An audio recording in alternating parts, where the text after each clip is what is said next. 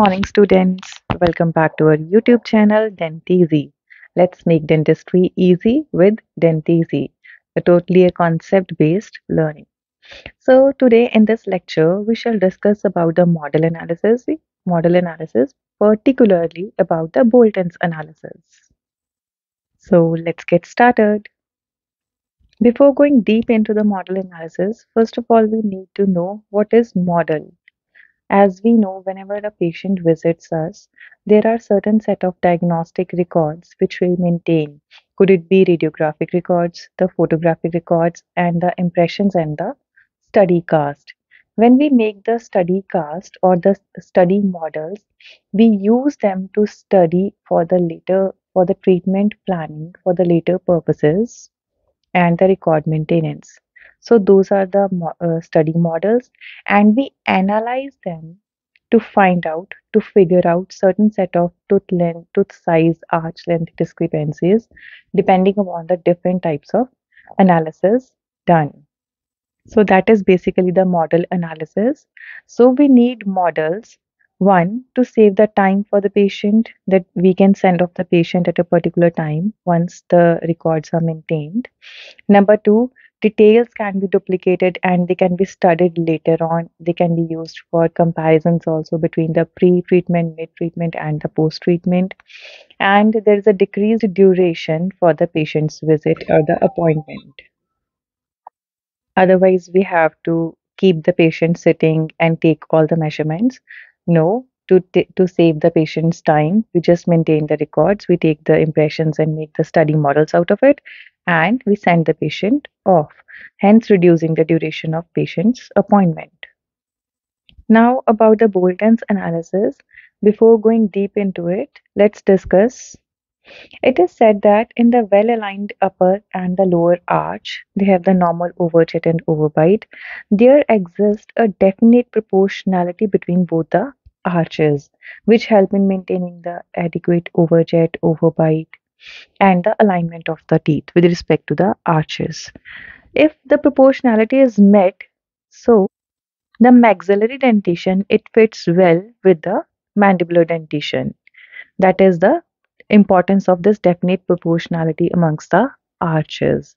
Now, what if this proportionality is not met or there is some kind of certain set of discrepancy between the arches according to the tooth size depending upon it so what would happen that may lead to overjet overbite midline issues attrition amongst the teeth altered cusp fossa relationship or cusp embrasure relationship or the occlusion would be disturbed Hence, it will lead to difficulty in maintaining the uh, in getting or maintaining the ideal occlusion with a good alignment or the ideal overjet and overbite.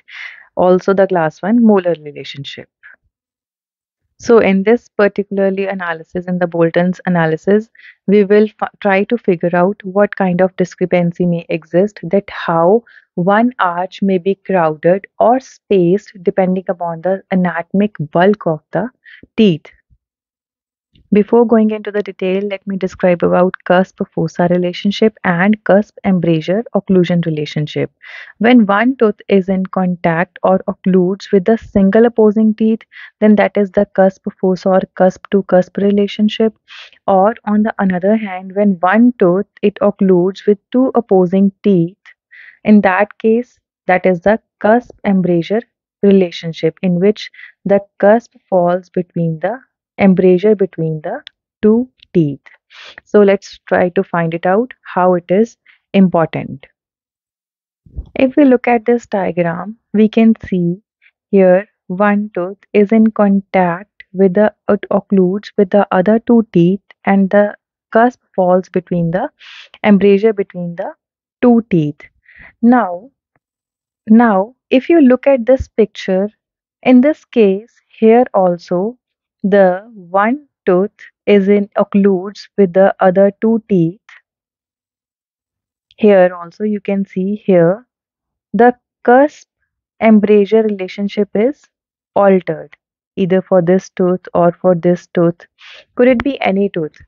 So we need to figure it out that how is it important. In case, in such cases, when one teeth does not occlude adequately at the place it should be, what kind of problems it may take along with it is supposedly one tooth is in end-to-end relationship. It is not occluding like adequately it should occlude. So in that case, the chances of adhesion may be seen. So adhesion is there when the cusp does not fall into the adequate places. Other problems that may be seen is like in anteriorly midline discrepancies are seen. We need to do extraction or it's a non-extraction case that also depends upon the Bolton's analysis. Uh, like in case of peg laterals in which the size of the lateral incisor is smaller as compared to the as compared it should be. So that is the case of the In case of peg laterals, obviously there would be the maxillary anterior tooth deficiency in comparison to the mandibular arch or it can be said that there is the mandibular tooth material excess. So mandibular tooth would seem to be crowded as compared to the maxillary anterior teeth. So that's how it is important for us to know that which counterpart is at fault so the basically the bolton's analysis it describes the relationship of one arch with respect to the other arch based upon the tooth size. This analysis has been divided into two portions. One is the anterior and another one is the overall ratio. What is done is in anterior ratio is we'll describe one by one. In anterior over in anterior ratio, what is done is anterior teeth canine to canine from this side to another side. The mesiodistal width of all the teeth is calculated using the vernier caliper or the divider. The divider is used. More adequately, the vernier caliper is used to calculate the mesiodistal width of each tooth anterior, all the anterior in the anterior segment, canine to canine. It is done for both the arches. It's done for upper arch also and for the lower arch individually. When the mesiodistal width is calculated, calculating that an, an anterior ratio is calculated, which is mandibular 6 divided by mesiodistal sum of mesiodistal width of maxillary 6 multiplied by 100. As we know, there exists a definite proportion which has already been calculated by the researchers. In the research work, it has been said that for the anterior ratio, there is some value which is 77.2. It is said that from now how the 77.2 value is important to us, let's discuss. Now their inference is if the value is if the ratio comes out to be 77.2 it means that is the ideal case. There is no discrepancy between the tooth material tooth size or anatomic bulk of upper or the lower teeth of one arch with respect to the another arch. They both are in the ideal case. But what if the ratio is greater than 77.2 if the ratio is greater it means there is mandibular anterior ex excess. You need not to mug it up. You need not to memorize it. Just learn the concept behind it. The concept is if this ratio is greater, if this ratio is more, obviously the mesiodistal width of maxillary anteriors or uh, maxillary 6 uh, tooth will be less or maxillary excess or it can be said that there is or there will be this value is less or there will be mandibular excess. So this is how it is calculated. And if there is mandibular anterior excess now how much excess is there from the value? We can calculate that yes excess is there. We have to apply it into the formula to find it out how much excess is there. So we have a formula for that according to which we can calculate it into the millimeters that this much millimeter discrepancy is there or this much mandibular tooth material excess is there. Supposedly it, it could be 1 millimeter 1.2 1.5 millimeter for example. Similarly on another hand if the ratio is less than 77.2 that indicates the maxillary tooth material excess anteriorly. Now how much excess is there for the maxillary teeth? That can be calculated from the values. The sum of mesiodistal width of maxillary 6 minus mandibular 6 into 100 by 77.2. From that, we can calculate how much discrepancy is there in millimeters. Now, why these values are important? Once we know from the ratio, anterior ratio, that some kind of discrepancy is there. Now we know what kind of discrepancy is there and how much millimeter are involved into it. Accordingly, that would help us into diagnosis, and based upon that, the, our treatment plan would be there. That there, if uh, the discrepancy, supposedly mandibular tooth material excess anteriorly is there, in that case, interproximal reduction can be done. IPR could be the one solution to it, in which the slight tooth reduction is done on the either side, maintaining the symmetry of the tooth and the arch. Or if the discrepancy is greater, in that case, the lower incisor extraction could be done. So, extraction, non extraction case, this is also dependent upon the values.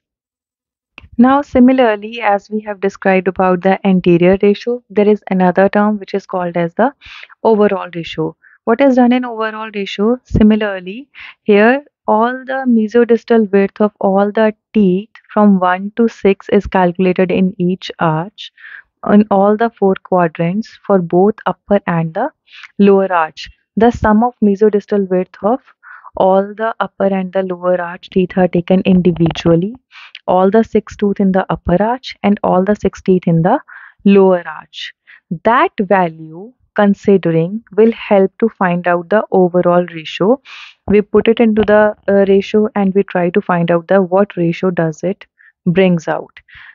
Researchers they have given that ideally the values should be 91.3 if the value comes out to be 91.3 it is said that that is an ideal case. It means between the upper and the lower arch overall there is no tooth size arch length discrepancy there is no tooth size discrepancy anatomic bulk of the tooth is adequate as it should be in an ideal case but but what if the ratio comes out to be greater than 91.3?